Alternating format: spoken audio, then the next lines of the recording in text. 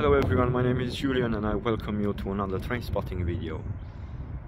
Today we are in Northampton and we're gonna do some train spotting, so stay with me.